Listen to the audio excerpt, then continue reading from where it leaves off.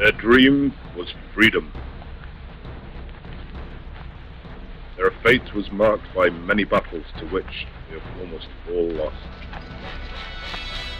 Children! Offense!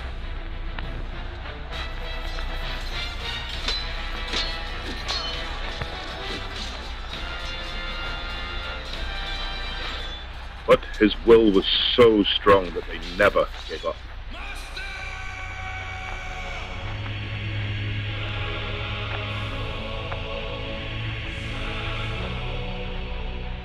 On September the 11th, in the year of our Lord 1297, fighting a small army of Scottish men on the bridge of Stirling against an English superiority.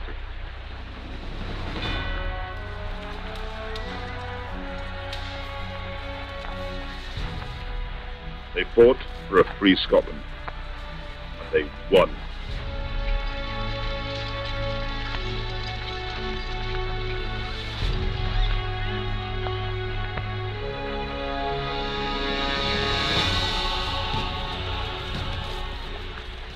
They were led by a man who united the warring Scottish clans. He became a folk hero. His name was William Wallace. Children!